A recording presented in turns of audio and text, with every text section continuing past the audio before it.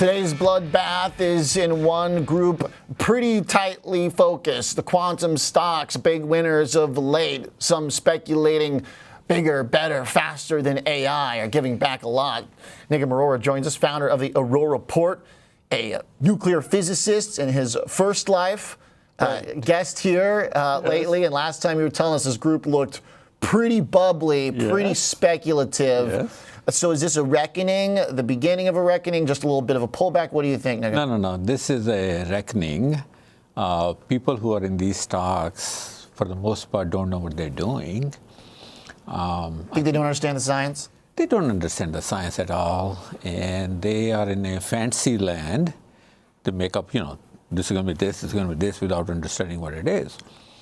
So if you know what you're doing, this is to me it's like a Christmas every day. This yeah. Well, you told us last time you're looking for short opportunities. Opportunity, you know, for example, the Arora Report members, we gave a signal yesterday morning before this bloodbath, actually bloodbath started in the afternoon, but you know, before yeah, today, falling, really, a lot of it. Yesterday, mm-hmm. uh, Rigetti, that's on your board there, RGTI, we were shooting at $19. Then in the afternoon, we added more and this morning we covered. Yeah. Great gains. Yeah.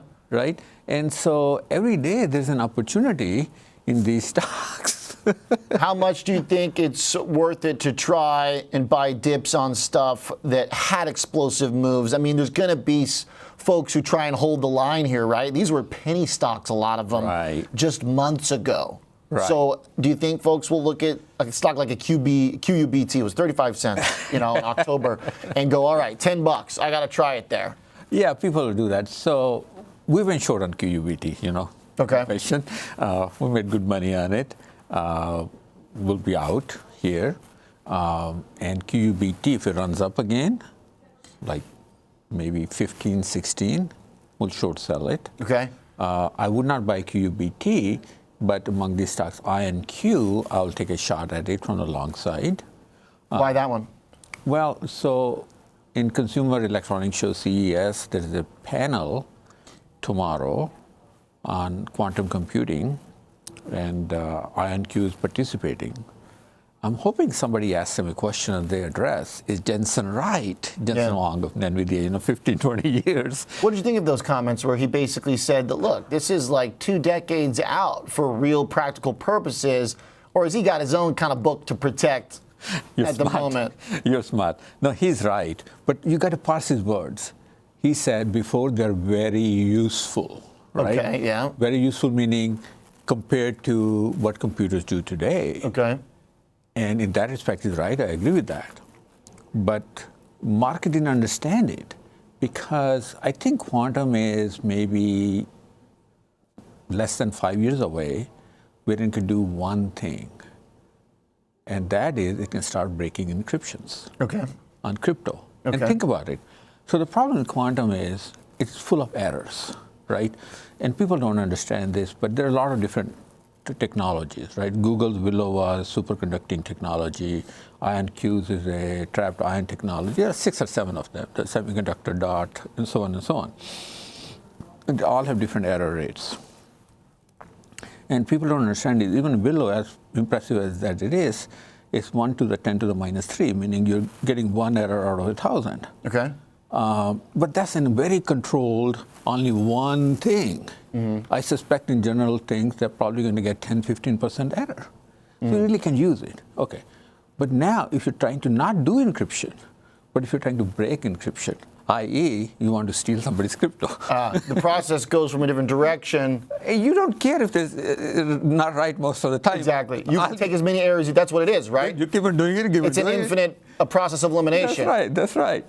So that makes sense. Uh, so, so I think there are going to be a lot of opportunities in this uh, uh, quantum resistant encryption and those kind of things. I think somewhere we'll see a lot of volatility in cryptos and Bitcoin because of this.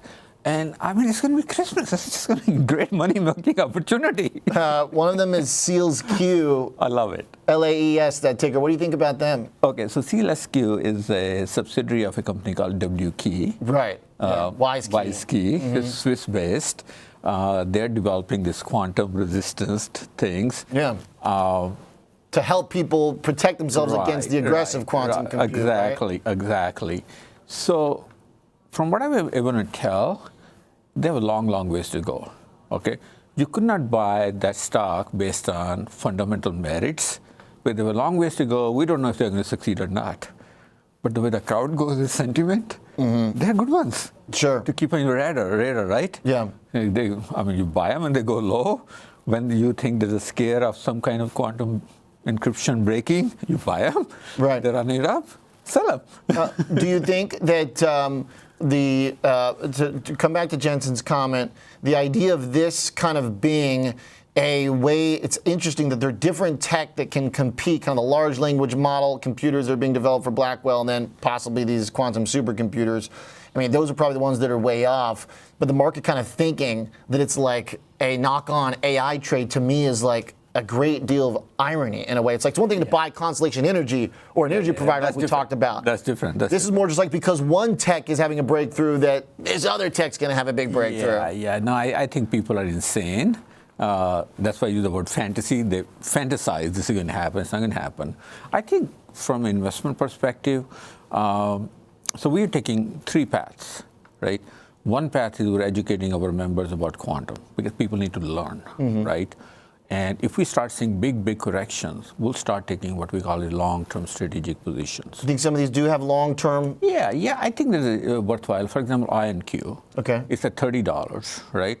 If I were to see it at five dollars in a big bear market, oh sure, you're gonna love it. I'll love it, right? Rigetti, if I see it at two dollars, I'll probably take on a position longer okay. term, right, and hold on. Do you think they could have volatility like that, kind of like some oh, of the yeah. stocks we've seen? Yeah, absolutely. Go all the way back down to where they were early absolutely, December. Absolutely. And in the meanwhile, you know, we trade for our members both from the long side and the short side, right? So I, I don't know why people just trade only from the long side. I mean, make money from both sides. yeah.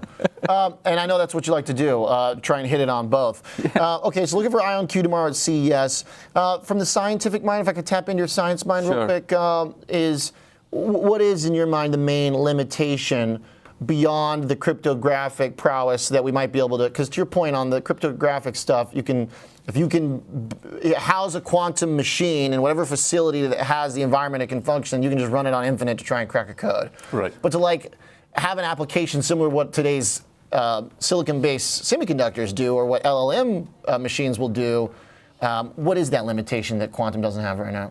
Error rates. Errors are a lot. Okay, so too many. Right, and uh, there are different ways to solve the errors. And what you're doing is you're bringing in more qubits to correct the errors. You're also bringing in faster conventional computers to correct the errors. Mm. So the errors is a problem. Uh, I don't. I think Jensen is right. We, we're probably 10 years away before the errors are reduced so much that you say, "Yeah, I can use it." Right? Okay.